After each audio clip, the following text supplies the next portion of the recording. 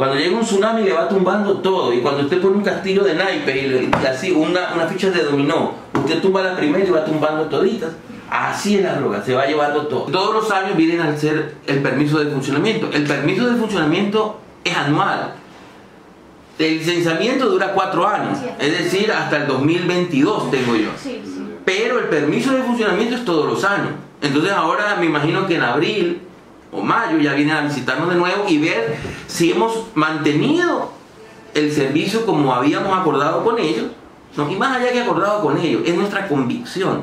Nosotros siempre hemos querido que todo sea con excelencia. Y la convicción nuestra es de dar el mejor servicio con calidad y calidad.